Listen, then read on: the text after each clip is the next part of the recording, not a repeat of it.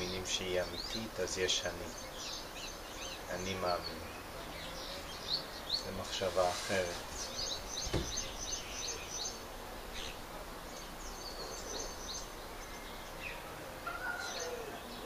ככל פחות מתנגדת, אפילו מזמינה את כל ההתנגדויות לעלות. הנושא של שחרור, של... אוי אוי, זה מגיע, לא, שיגיע. זה לא... כן? כן, זה רק מחשבה.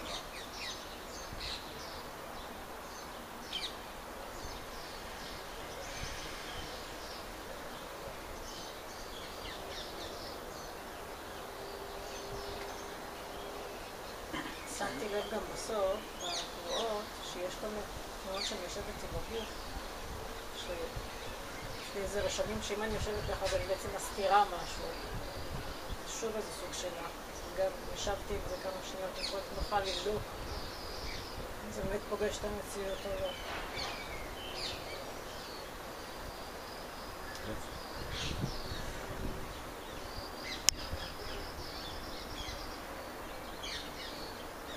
כשישבנו פה, כשישבתי,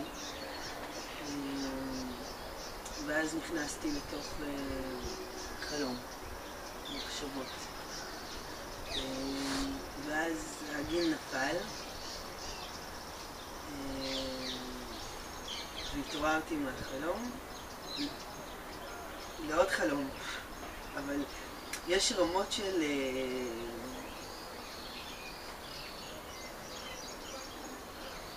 כאילו כביכול אני התעוררתי מה...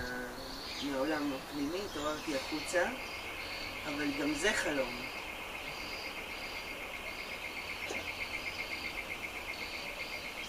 אפשר להשאיר את זה, התעוררת למציאות כמו שהיא.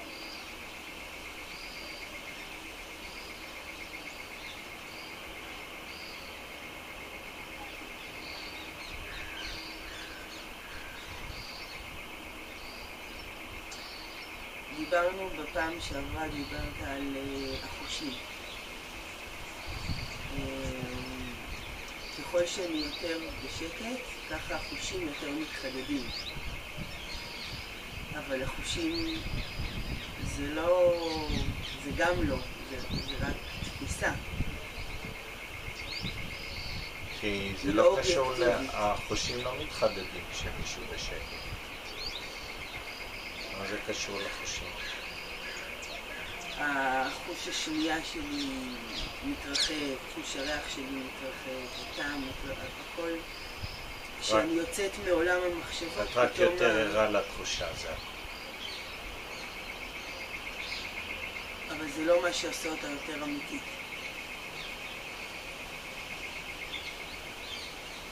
כי אין תחושה אמיתית.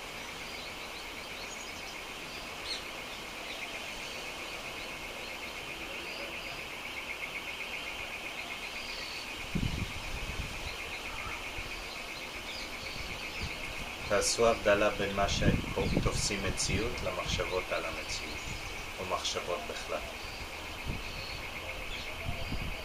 שלב ראשון להבדלה.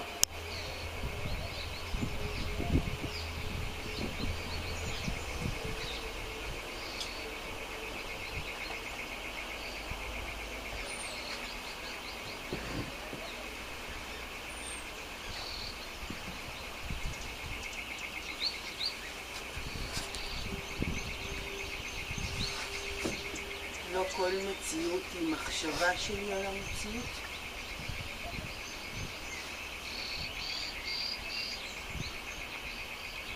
מה שאנחנו קוראים מציאות, כמובן שהמחשבה בוראת את זה, כן? מחשבה אני מופיעה, אז כל ה... מה שנקרא מציאות נבראת. רק אותה מציאות היא חופשייה, נכון?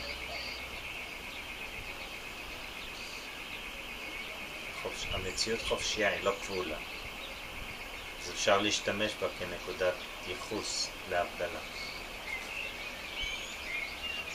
מה שקורה הוא חופשי, ומה שקורה לעולם לא גורם שום סבל לאף אחד. זה נקודת ייחוס להבדלה. נכון?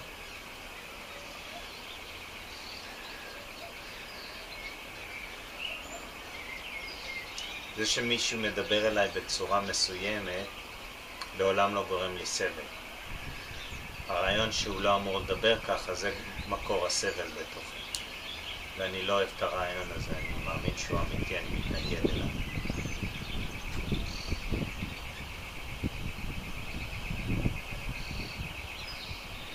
אז אני יכול להשתמש במציאות, זה שהוא מדבר אליי בצורה שהוא מדבר אליי, כסדר עליון, כמשהו שחופשי שקורה בפני עצמו. אני לעולם לא מושפע מזה, גם אם זה נראה לכאורה שאני מושפע מזה. אם מישהו יתבונן פנימה ויסתכל מקרוב, הוא לעולם לא מושפע משום דבר חיצוני. הוא לא יכול להיות מושפע ממשהו חיצוני כי אין לו שום מגע עם החיצוני. משהו קורה חיצוני, אין לו באמת מגע עם זה. הוא במגע רק עם עולם המחשבות שבתוכו. אז משהו חיצוני לעולם לא משפיע על מה שאנחנו קוראים פנימי.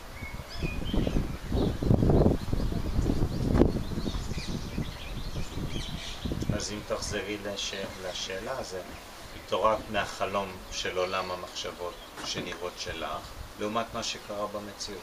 זה נתן לך אפשרות להתעורר מהחלום.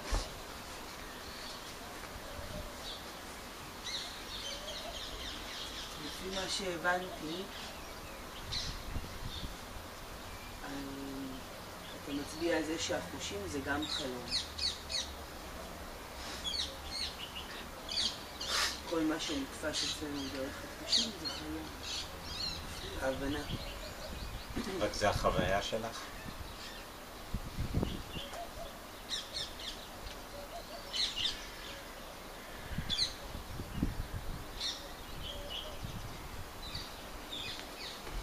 תשימו לב שאני רוקד. פעם אחת אני, זה ככה אני אומר, ופעם שנייה אני משנה להפוך. למה? כי אם רק תאמצו תיאוריה ואתם לא חווים את זה, אתם נשארתם בהזדהות עם המחשבה, כי זה לא החוויה. אז תבדקו מה החוויה. כן, אנחנו יכולים לראות, ש... ואתמול גם נגענו בזה, ש... בעצם כל עוד אתה לא מבין באופן מלא ומקבל באופן מלא שכל מה שנתפס דרך החושים הוא לא אמיתי, אז אתה לא יכול להתעלות מהזדהות עם הגוף והמחשבה. רק השאלה מה החוויה.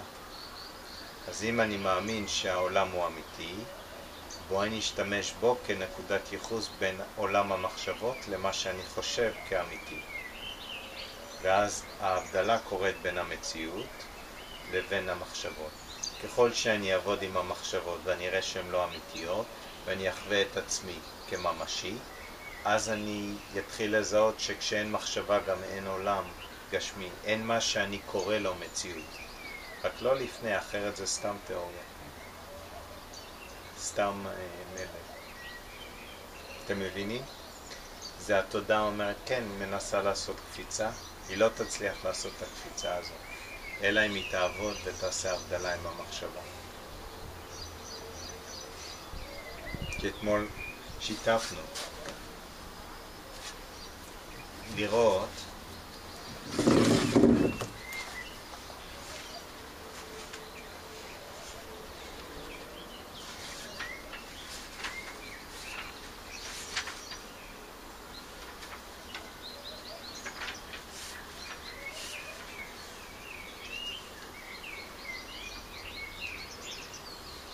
if you want to go beyond the body and beyond the mind, אם אתה רוצה להתעלות מעבר לגוף ולתודעה, we have to understand and fully accept, יש לנו להבין ולקבל באופן מלא, that all the information that the senses provide is not real, שכל האינפורמציה שהחושים מביאים הם לא אמיתיים. Like a mirage that produces an illusory oasis in a desert. כמו פטה מורגנה, שמייצר אה, אה, נביאה במדבר. The senses create the impression that there is a real world in front of us. החושים יוצרים רישום שיש עולם אמיתי לפנינו, that is being perceived by the mind, ושהוא נתפס בתודעה. The apparent reality of the world, ה- התפיסה האמיתית של העולם, is an illusion, זה אשליה. It is merely a misperception, זה בעצם אה, אה, misperception, תפיסה שגויה. When the mind perceives a snake, where in reality there is only a rope, כאשר התודעה תופסת נחש, שבמציאות יש רק חבל, this is clearly a case of the senses projecting an imaginary im- image. זה בדיוק מה שקורה שהחושים מקרינים אה, תמונה אה, דמיונית on the real substratum, על העצמי, האמיתי, הממשי.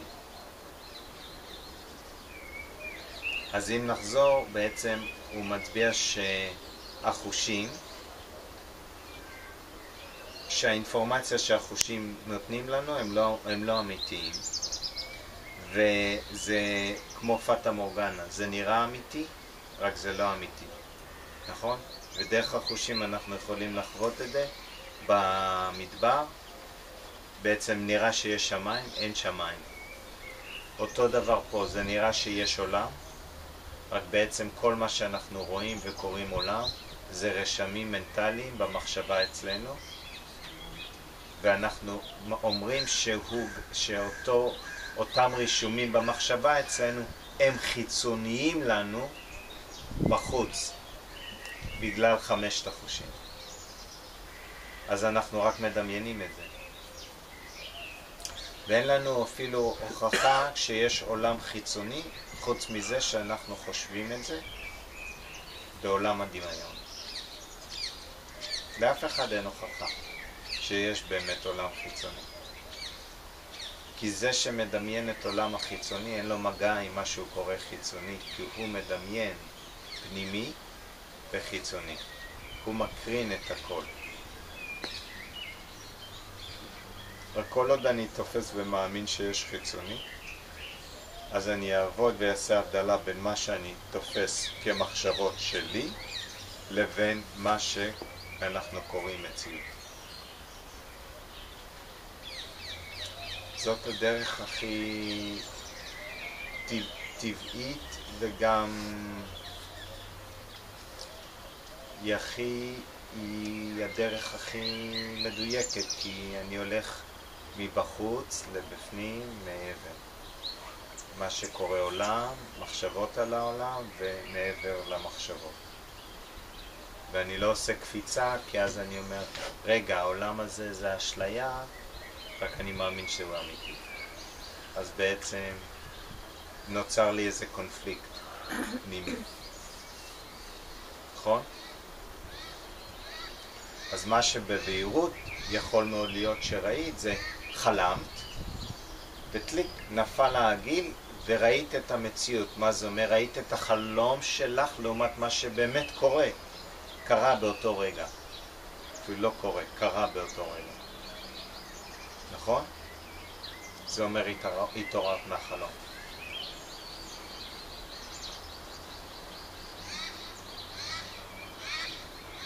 עוד לא התעוררת מהחלום באותו מצב שמה שאת חושבת שקורה במציאות הוא גם חלום. בסדר? שלב שלב. שאלה, בשלבים. אמ, אני רואה, אמ, דוח מצב שלי, נכון לעכשיו, אני רואה, אני חושבת שאני רואה אה, את המחשבות, את הדיסוננס, ואני כן מבדילה בין מחשבה. אמ, ההתנהגות שלי לא תואמת למחשבות שלי. אה, אני אסביר. אמ, העניין של המחשבה לא אמיתית, אני, אני רואה את זה, יש לי שיח פנימי שם. בפועל עדיין אני לא יכולה לתרגם את זה להתנהגות.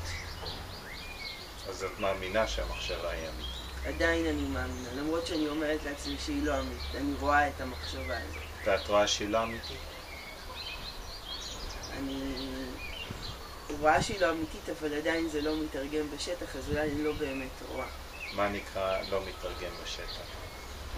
ההתנהגות שלי לא משתנה בהתאם למחשבה. אז זה אומר, נניח ניקח דוגמה, אני מדבר עם מישהו ואני מתחיל להביע דעה, והוא מביע דעה בדיוק סותרת לדעתי, ועכשיו אני מנסה לגונן את הדעה, ואני מנסה לה- להוכיח לו שאני צודק, אז אני מאמין שהמחשבה היא אמיתית או לא.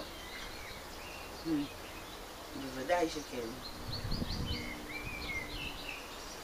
זה ההתנהגות מסונכרנת עדיין עם המחשבה.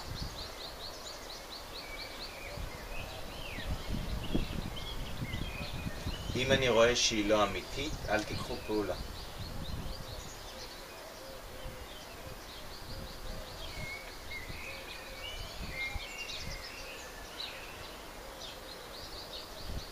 אני אזכיר עוד פעם מה זה הרגל, בסנה.